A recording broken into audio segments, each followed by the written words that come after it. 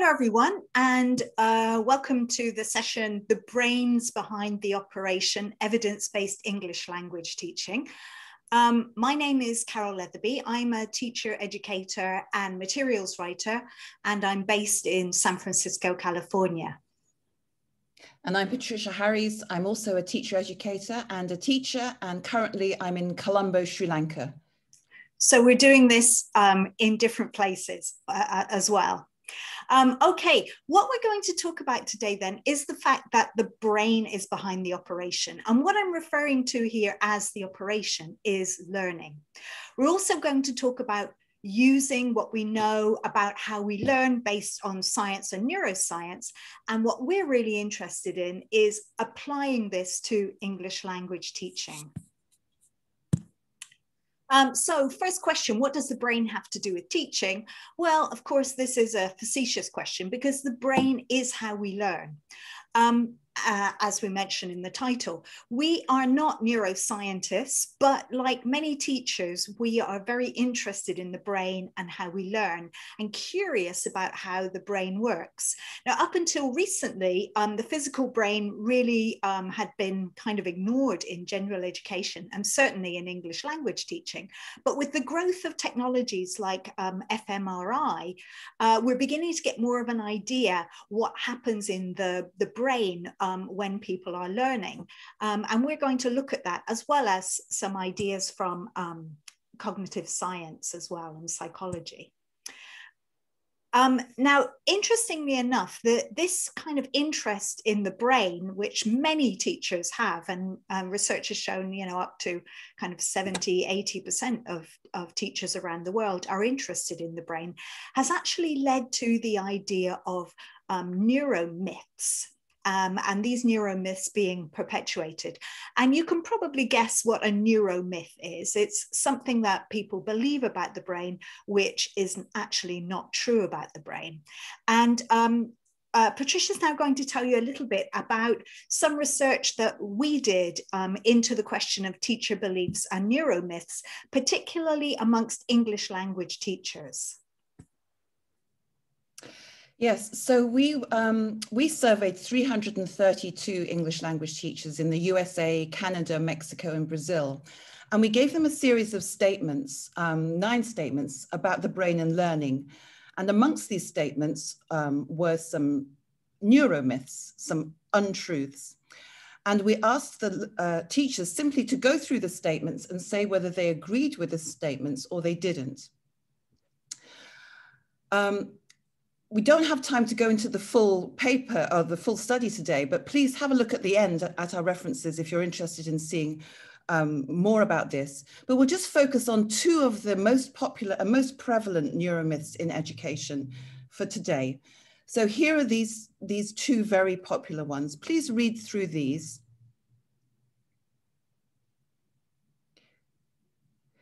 So these are two neuromyths that were amongst our statements and now we're going to have a look at how many of our teachers believed these myths to be true. So as you can see at the bottom here, we've got the left brain, right brain, and that 60% of our teachers believing that statement to be true. And then 90% of our teachers believe the learning styles myth to be true. So, as Pashler et al. say, our intuitions and beliefs about how we learn as teachers are often wrong in serious ways. Now, we'll just have a closer look at number five, the first of those two, because it is such a popular um, belief. So this is about hemispheric dominance and the, the, the idea that you've probably seen in popular science that we have a left side of the brain that is, is responsible for analytic and logical thinking, and we have a right side of the brain that is more creative. Now, neuroscientists have told us that this is not in fact the case, and that both hemispheres are used for processing both logical and creative tasks. And more interestingly for us as language teachers, both hemispheres of the brain are involved in foreign language learning. And in fact, in the classroom, there's no point in trying to teach to help one side of the brain become stronger. So there's no evidence that some people have better connected or more dominant left or right brain networks. Now, as for um, the learning styles neuromyth, um, uh, as Patricia uh, just pointed out, we found in our survey that about 90% of the teachers that we surveyed believe that this um, is true. This idea that if you um, match teaching and learning in terms of uh, people's preferred um, sensory um, modality, that this will improve learning. This is something which neuroscientists consider to be a neuromyth. Okay, so what are some of the problems with it? Well, the main problem is this that there is no convincing evidence that teaching to preferred learning style enhances learning. This is known as the meshing hypothesis or the matching hypothesis. Um, there have been several studies, however, which have tried to kind of prove the matching hypothesis. And um, one of the most famous ones um, is a, a, series of a couple of experiments which have been done by Rogowski and colleagues. And what they found in their study is that there was no significant relationship between your preferred mode of learning, the teaching mode, and the results of the test. So um, this means that basically um, they didn't find that listening um, in a listening test that so-called auditory learners um, outperformed uh, so-called visual learners. And vice versa they didn't find the the converse to be true either. So what they did find though and again this is very very interesting for us as teachers they found that learners who were identified as visual learners consistently outperformed auditory learners and what they conclude from this and i think this is important for us too for all teachers is that it's not actually just harmless for us to um, test people's learning styles and uh, or learning preferences and to um, teach according to them. It is potentially we're doing learners a disservice if we focus on this because um, being a good visual learner um, is absolutely essential in our um, educational system because it's based on reading and writing. Um, Newton and Salvi have uh, just done some recent, um, a recent meta-analysis of um, about uh, from samples all over the world in all types of education. And they found just like we did in, in our survey, that about 90% of educators around the world report that they believe in the meshing hypothesis.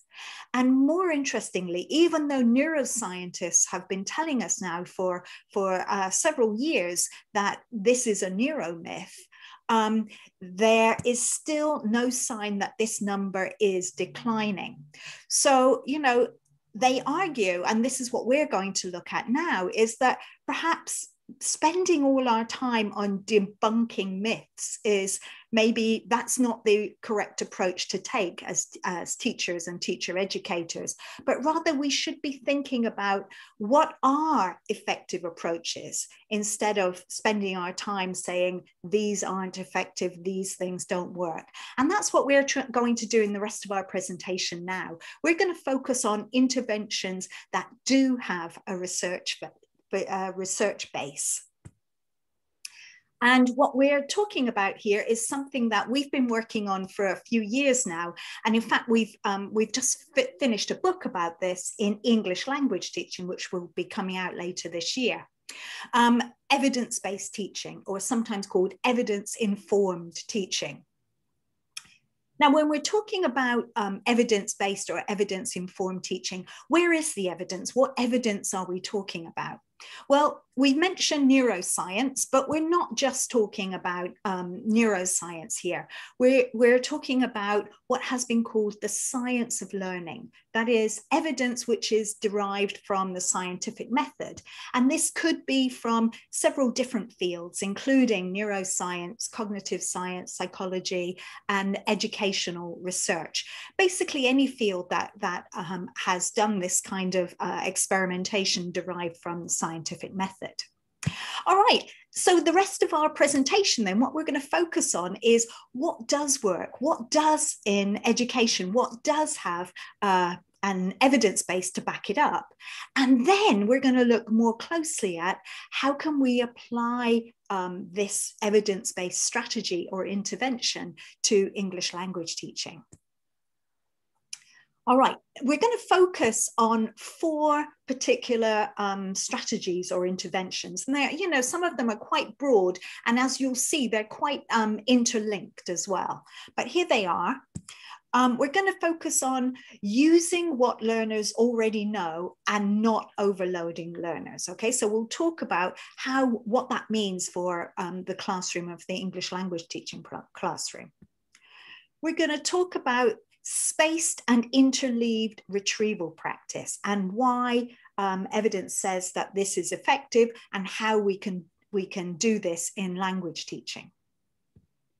We're going to look at the idea that practice tests lead to retention of information. So we'll be focusing too on that and how we can um, use that information in English language teaching. And we're going to focus on the strategy of metacognitive awareness with the idea that metacognitive awareness can help learning. We'll look at the evidence for this and then we'll um, talk about how we can apply it to English language teaching. Okay, so our first one then, uh, using what learners already know. Okay, so this is something that um, has been known for some time um, in cognitive psychology that we need to use what learners al already know to help them to learn new things.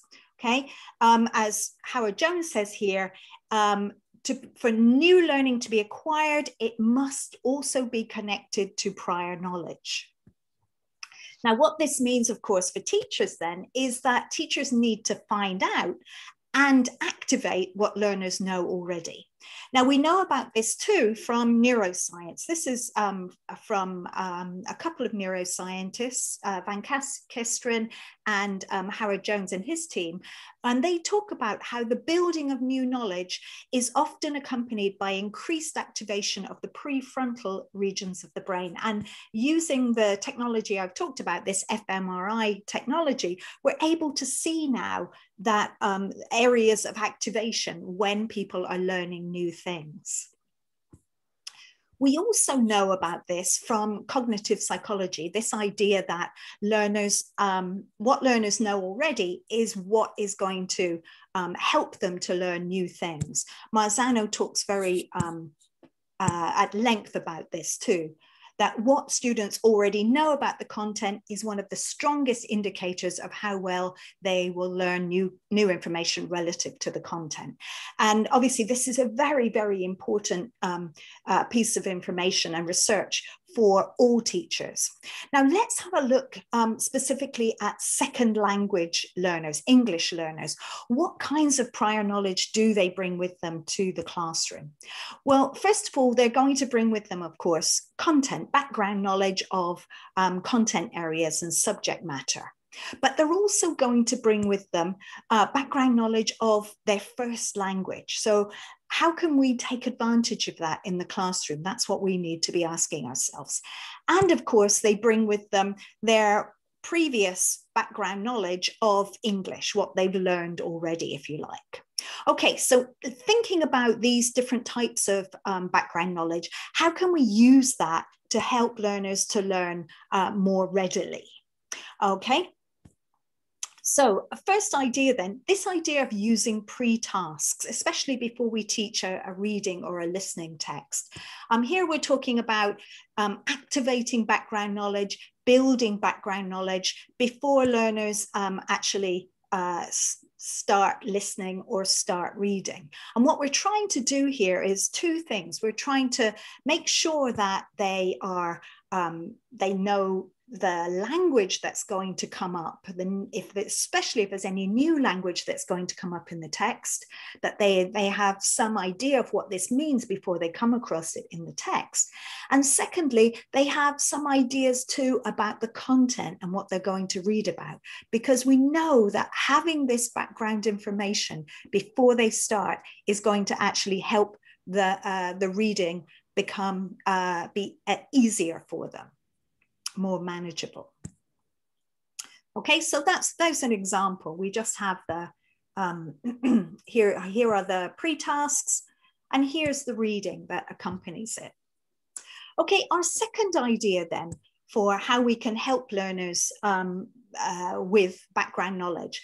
Um, this idea of recycling and building on what learners know. This is something too that scientists and neuroscientists and cognitive psychologists talk about. This idea in English language teaching of using some kind of spiral curriculum, starting from what learners already know. So that could be, for example, in vocabulary teaching. This is a, uh, an example of uh, some textbook materials which were designed for um, Spanish and Portuguese Portuguese speak, speakers. And if you notice, there are 15 new vocabulary words here. Now, 15 new words is a lot to introduce to students in one go. But if you notice, they've been decided, divided into two columns. And the first column, those first eight vocabulary words, are actually cognates in Spanish. So what we're saying is if we can activate what learners know already, get them to realize that these are cognates, then really it's only the ones on the other side, the seven on the other side, which are actually new words. Um, we need to do this too in um, grammar teaching, the same kind of idea. And as Van Kesteren, the neuroscientist, talks about, this is absolutely essential because knowledge builds on what has come before it. Okay, the third idea then for how we can use what learners know to help them to learn more easily. Um, this idea of finding out about um, learners' interests and what they know about those, those interests and topics.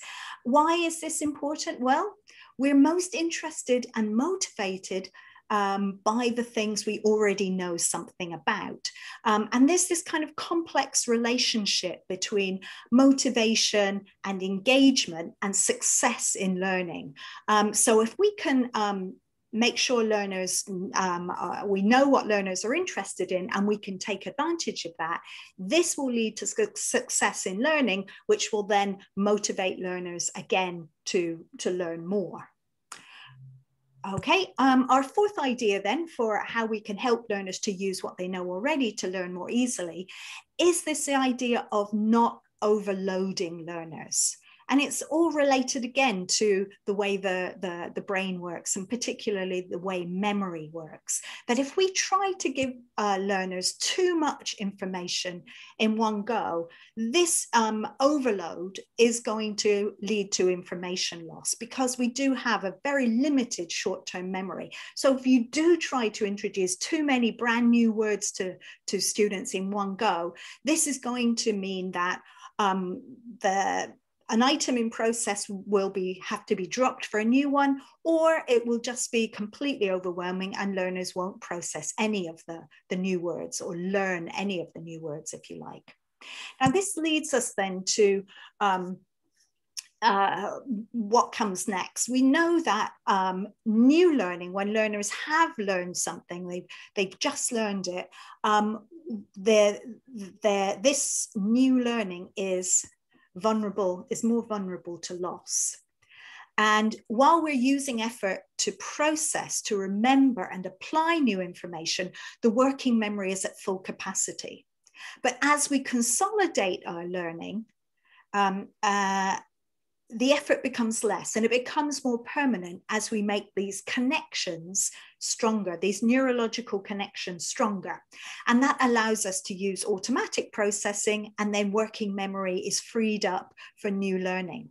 Now, this brings us to um, our second important strategies um, or interventions, and that is how to do practice in the classroom. So, the importance of practice, and Patricia is going to talk to you now about how um, uh, effective ways of practice according to research.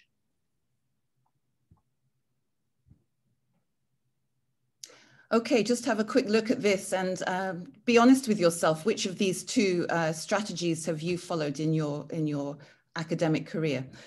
Um, it should be clear to you as you are teachers that it's the first picture here, studying a few minutes every day, which is considered to be the effective method and not to cram or do massed practice the day before the exam. Now, this is known as spaced or a distributed retrieval practice, and it's the idea of spreading out practice activities over time. We'll talk about interleaved practice in a minute, but just focusing on the spaced practice, this is, a, this is something that we've known about for a very long time. Ebbinghaus in 1885 uh, published a paper on learning and memory.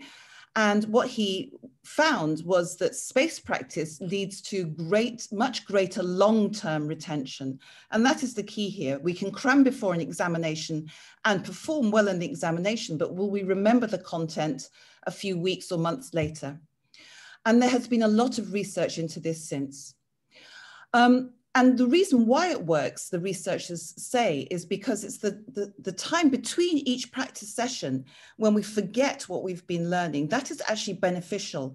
And then coming back to the content and trying to retrieve it is what makes it integrate well with our existing knowledge. And this is known as the theory of disuse. Now, can we use this in the English language teaching classroom? Well, we probably already do. Have a look at the first idea here with vocabulary. We do recycle vocabulary. Now, the key here, if we're focusing on distributed or space practice, is to think about um, adding increasingly greater time spaces between each time we revisit that content. Of course, we can use this strategy um, simply by beginning a lesson with practice of language from a previous lesson. And we're not talking about the lesson that's just come immediately before, but perhaps a lesson that you, you taught a, a week ago or a month ago. And finally, we need to ask our students to plan their own study timetables, taking this uh, strategy into account. Okay, the second of the two um, techniques we're talking about here is interleaved practice. Now it is as it sounds. So rather than blocked practice where we're practicing the same content in a concentrated form and then moving on to another uh, topic, the idea is to mix up different practice activities that need to be related in some way in a single session. So we're going over and switching between the content um, and going over it in perhaps a different order next time. And as we do this, we're making links between the content. Now, the research that's been done into this has been mainly into concept learning and, and mathematics. But what the researchers have found is that it, they think that interleaved practice may improve the brain's ability to tell concepts apart and help learners to choose the correct problem solving strategy. And of course, it's the difficulty in having to switch between the different content that's making this effective because again, it's the retrieval um, that's helping to integrate. And this difficulty known as desirable difficulty is leading to greater retention in the, in the long term. Interleaved practice, do we do it in the English language classroom? Well, again, I think we do when we mix language and skills practice up in class. But the key, of course, is not to be too predictable with this and keep the learners on their toes. We can also mix up practice of language structures in one session. And we can review material in a different order from the order in which it was presented. When schools timetable classes, perhaps they should look at not having all the skills um, classes in the morning and the language, focus on language in the afternoon, but integrating these more. And then once again, we need to ask our learners to try to incorporate this kind of practice when they're studying at home by themselves.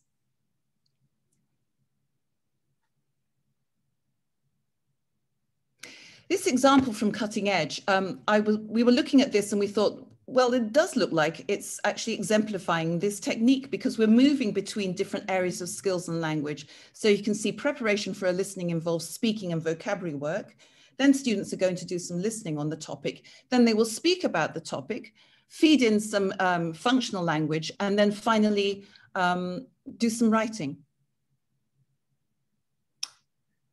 Okay, right. Our third um, strategy or intervention um, that has a strong research base behind it is this idea of practice testing and how practice tests lead to the retention of information. Um, now, when, when we think of tests, very often we think of this um, high stakes pressure tests where learners get nervous and perform badly, etc. That's not what we're talking about here, and that's not what's necessary. What we're talking about here are so-called low or no stakes tests, and even self-testing, because this has overwhelmingly been shown to improve learning. And again, it comes back to uh, this idea of um, retrieval practice, the importance of retrieval practice. Again, something that we have known for over 100 years in this case. Um, this is known as the, the testing effect, the idea that practicing retrieving more information makes that information easier to retrieve in the future. The more learners retrieve the information, the more retrievable it becomes as the neural, neural connections become stronger.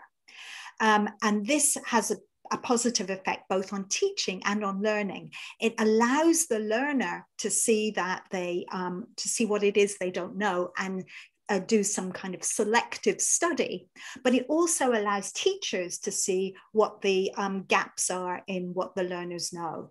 And this is an area that has been done, um, worked on a lot in terms of language learning. And it has been found, particularly in the area of vocabulary learning, that um, retrieval practice is a very um, powerful way of helping learners to remember vocabulary. So doing these practice tests really helps learners to um, remember vocabulary. All right, um, applications to English language teaching then. Well, as I've mentioned already, uh, vocabulary tests, these kinds of test yourself um, uh, practices, practice tests, um, all kinds of things that are, as I mentioned, low stakes or no stakes testing.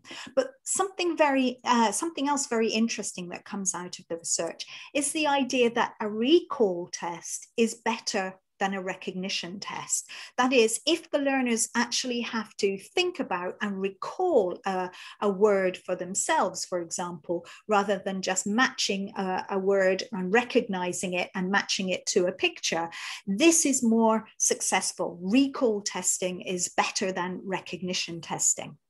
This also has um, implications, I think, for the kinds of assessment we do in the classroom.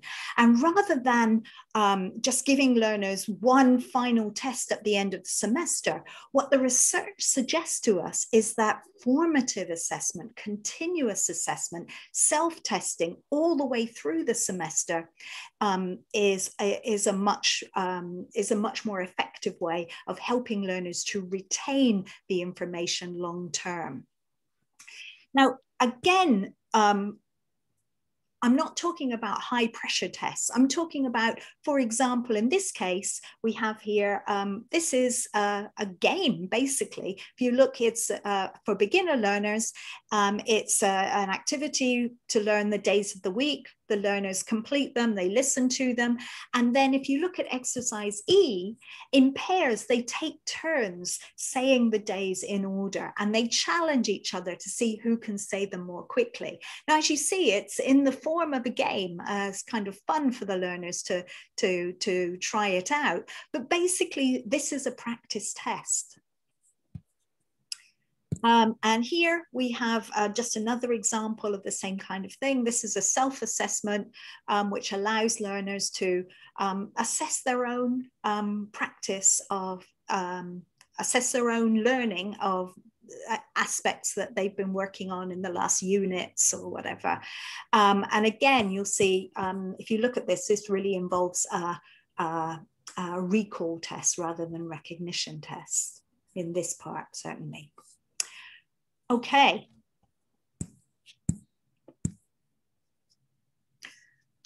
So the fourth evidence-based strategy we're going to look at is metacognitive um, awareness techniques. So there are two um, that I want to talk about here, we want to talk about here. The first is elaborative interrogation. So this is the idea that learners use questions and they answer the questions in order to explain why something they've learned is true. So they uh, ask and answer questions. Now, here are some examples of the question forms that they could use. And of course, this can be done in the first language. So what does the research say about this? Well, elaborative interrogation, the, um, the connecting of old and new knowledge um, integrates the new information with the existing prior knowledge. And this is therefore building on the memories that the learners already have. Can we use this in the English language teaching classroom? Well, let's have a look. Yes, students can ask and answer questions about grammar rules and compare different structures. So just imagine you've got students sitting in pairs in your classroom and you're asking them to, to interrogate why some adjectives have an ing ending and some have an ed ending. They can also make connections between classroom language and language heard outside. And obviously this works for an ESL situation, but don't forget your learners are watching a lot of movies and, and interacting on the internet. So it's trying to take that those rules and uh, that they learn about in class and ask students to explicitly uh, challenge those rules when they hear the language being used. We can also, of course, ask learners to explain answers to their reading and comprehension uh, question tasks, perhaps looking at the vocabulary that helped them to achieve the answers in a reading um, comprehension exercise. Here's an example from um, a course book, and this is focusing on language. You can see it's a very common type of exercise, but what we like about this one is that the course book writers have asked the learners to say, explicitly say why the incorrect choice is incorrect. Okay, and then the second one under these uh, metacognitive strategies here today is self-explanation. Now, again, this is a question and answer technique, but what we're doing here is asking learners to think about the way they learn and to explain the features of their own learning to themselves. Here are some examples of the kinds of questions that they can use. And of course, this can be done in the first language. Now, the research into this area has focused a lot on the learning of mathematics. And what researchers have found is that um, watching learners um, solve one problem in mathematics and then giving them something new, they've been able to transfer their knowledge of how to solve the problem to a new problem by talking through the steps that they used to solve the old problem. Can we use this in the English language classroom? Well, self-explanation can come in, of course, when we run a feedback on reading and listening tasks. So when we ask our learners to say how they came to the answers that they have, um, they're explaining the, the, steps that they took. And of course, learners can do this in pairs before we, we actually examine this as teachers. In language work, we can ask students to explain their thought processes to a partner as they're working through a, a language exercise in class. And this teaching that we, we do encourage in the classroom is a form of self-explanation. We can also ask learners to explain similarities and differences between new and previously studied material. So for example, if we're looking at the progressive aspect, the students have probably encountered this at beginner or elementary level. And when they're coming back to see it, this form again, they can think about what is it that they already know about how to form this and, um, and how is it used? Which verbs don't take an ing form? This coursebook series has a section called Learning Skills, and within it, we, we found this example of um, what, we, what we see as self-explanation. The learner is having to explicitly think and say why it is that they go through a pre-task before they, they listen to a text. Okay, so what we've seen here then, uh, what we've been looking at today are four uh, simple, free teaching strategies or interventions that have a wealth of evidence to support their use. First of all, we have this idea of using what learners already know and not overloading them so that we help learners to learn more easily based on what we know about the brain and about how we learn. Um, secondly, we have this idea that space, spaced and interleaved retrieval practice is effective. So learners aren't cramming, but rather practicing or studying a little each day and interleaving, that is mixing up their practice. Thirdly, we have this idea of practice testing, and that practice testing leads to uh, retention of um, information, where learners practice retrieving information so that it becomes easier and more automatic for them to be able to do so. And then, fourthly, we have this idea that metacognitive awareness can help learning, where learners question themselves and their classmates about how they found answers, and learners talk about and discuss their thought processes. We talked about how these strategies have been found to be helpful across subject areas, but particularly focused on um, how to use them in situations where learners are learning in an English language teaching context. And that is really our big interest and focus. So um, a couple of conclusions then from our um, talk today. Uh, first of all, the brain is behind the operation. There's a connection between what we know about the brain, how we learn and teaching.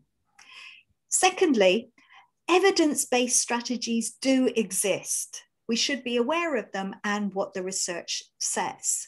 Um, and rather than uh, spend time, as we talked about at the beginning, debunking things that aren't true and that don't work, let's focus on the things that do work. Um, we already do a lot of these things in the classroom, but what we've looked at today and what we'd like you to consider as well is this idea that we need thought and time to apply them in English language teaching in particular. And that's our interest. And we hope that uh, you will find this interesting too. Um, all right, these are the uh, references for our talk today. Um, I think we have time for a few questions now. Um, uh, I'll be available to answer some questions. Thank you very much for, for coming. We hope you enjoyed it.